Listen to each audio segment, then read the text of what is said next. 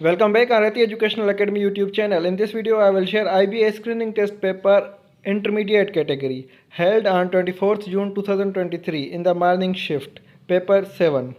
I will share science portion in this video. Question number 76 Skin is the outline of our body. The thickness of skin is, and, and the right answer is 2 millimeter. Question number 77 The life cycle of the bee is, and the correct answer is C egg, larva, pupa, and bee.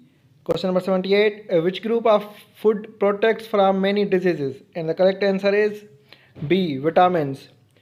Question number 79 Anemia is caused due to deficiency of, and the correct answer is C. Iron. Question number 80 Which substance is not compound? And the correct answer is B. Mg. Magnesium.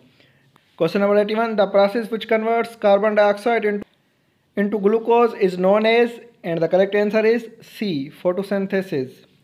Question number 82 atmospheric pressure acts in and the correct answer is D all directions upward downward right and left.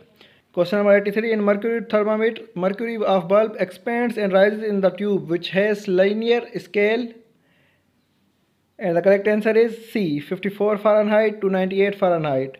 Question number 84. How many lenses are present in refracting telescope? And the correct answer is B.